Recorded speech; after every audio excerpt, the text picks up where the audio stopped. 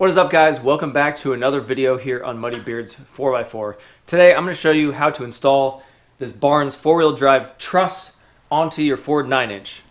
So stick around.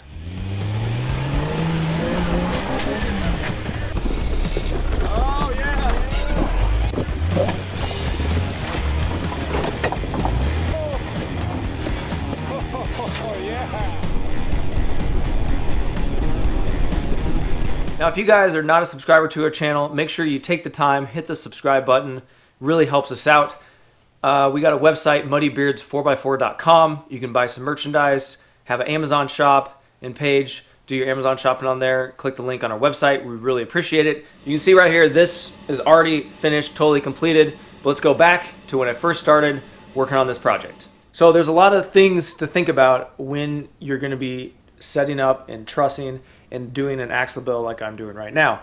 Obviously, I went with Barnes four wheel drive, their um, axle truss, because that's what I'm using to build all of my suspension. So it makes sense for me to use this one. This particular truss from Barnes four wheel drive is like $99. It also comes with two side pieces that go down here and here.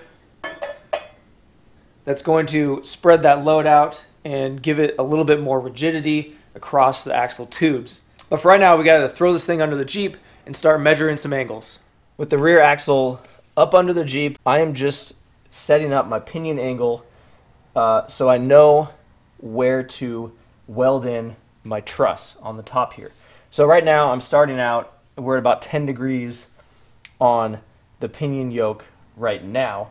And what we want to do is we want to have it basically straight at our transfer case. So this is my old drive shaft. Uh, it still has not been extended or the yoke changed out to the 1315. So the 1310, the old one. And fully extended, you can already see this is as far out. Oh, there it is. As far out as it can go, and I'm still pretty far off. The way it is set up right now, you know, just it would be about like right here.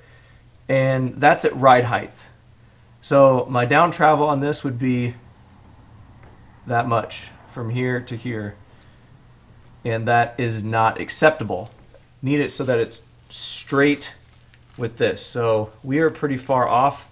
And the suspension is going to be fully adjustable. So you can, you know, rotate it up and down and move it back and forward within reason. Uh, so you want to get this set up correctly right where you want it to begin with so that way you can fine tune it after you got it all together. So right now we're like about 10. So let's go up to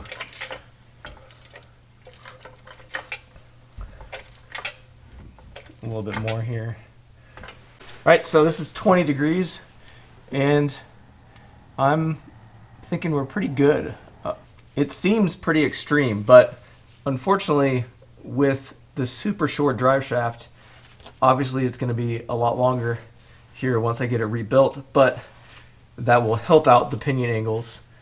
Uh, but this looks pretty sweet right here. I don't want to go up any more, uh, so I will probably set this thing probably 18, 20 degrees.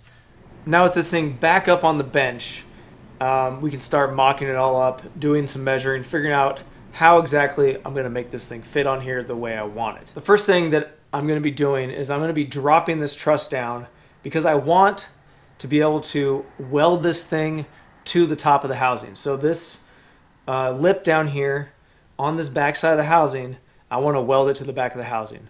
So I'll get, you know, two or three inches of bead on the back for strength. It's going to bring everything down nice and low, give me a lot more clearance on my up travel on the underside of my Jeep. So just cut out a template of what I need to cut out here and uh, we'll just do some measuring and do some cutting and should drop it down and then address any other issues that we have.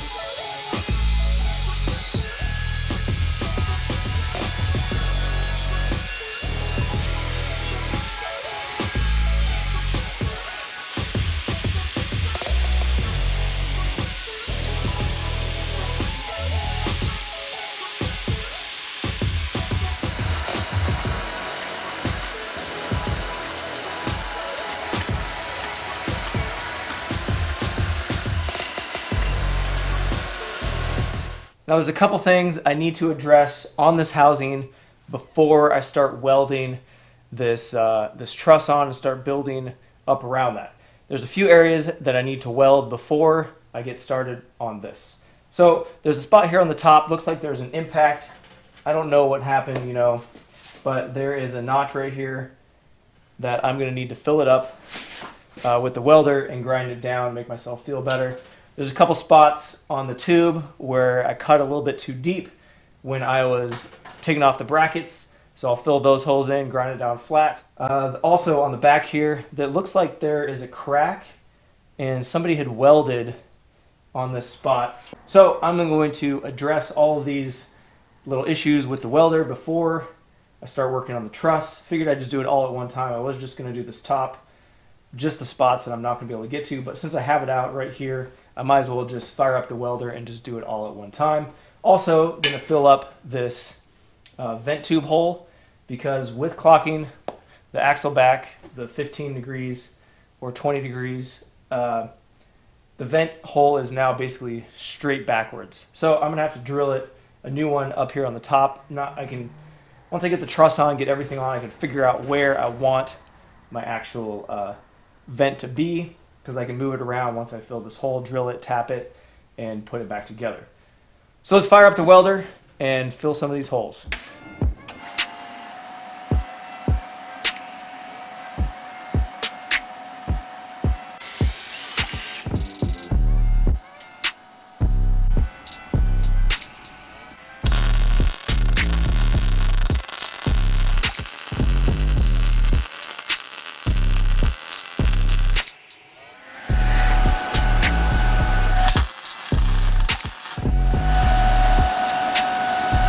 Now before you get carried away and tack your truss on uh, to test fit it, make sure you hit the top of the axle and the underside of the truss with some paint. Now that I have everything cleaned up where I'm going to be welding, I will tack it into place, triple check everything, and then start welding all together.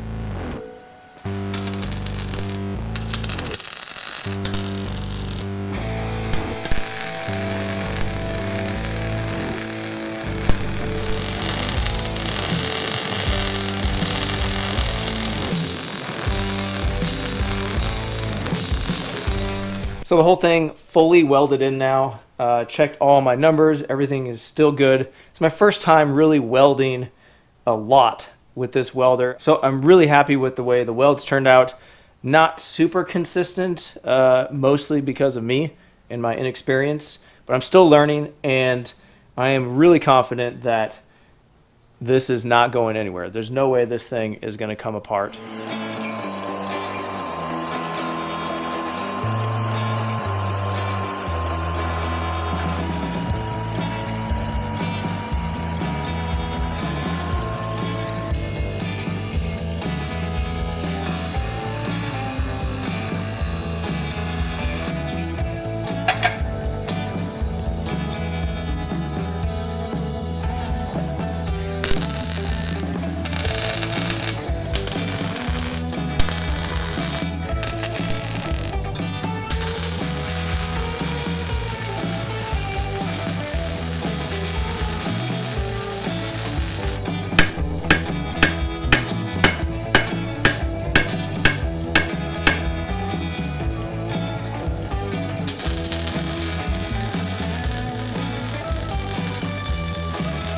Okay, before I continue on anymore, I have the sides and the top welded in. Saw that I kind of manipulated, massaged the top here to fill that gap so it was nice and easy to fill. I want to fully weld on the bottom here, all the way across, and all the way around here, same on the other side. But I can fill this gap right here easily. I could fill this not as easily because I don't have the experience and uh, so what I did is I kind of notched this out a little bit, cut a little bit off of the edge, and I pounded it in with a hammer. So now there's a much smaller gap here on the bottom.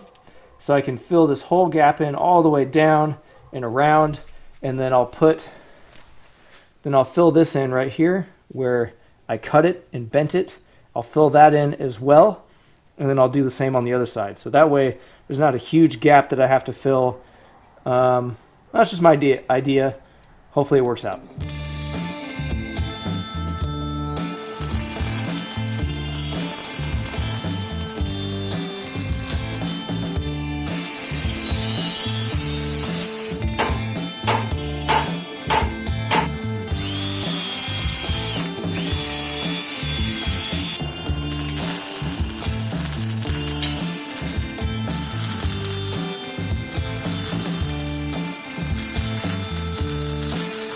Well, here it is, guys, fully welded in, painted up, ready to start the next step of setting up the suspension. I ended up at about 16 degrees of pinion angle with zero degrees at the top of the truss. There was some compromise because of the limitations of getting this pumpkin in and out of uh, the housing. So I had to compromise a little bit, but it's going to be totally fine and it's going to fit perfect. If you learn anything from our videos here on Muddy Beards 4x4, make sure you hit that subscribe button, give us a thumbs up and some comments. Uh, the next video should be me putting it under the Jeep, cutting off all my old brackets, and mocking up my new suspension. Anyways, uh, thanks for watching our videos, guys, and we'll see you on the trail. This video is brought to you in part by Harbor Freight Tools, Barnes 4-Wheel Drive, Motiv X Tools, and Yankum Ropes. Check out the link in the description to learn more.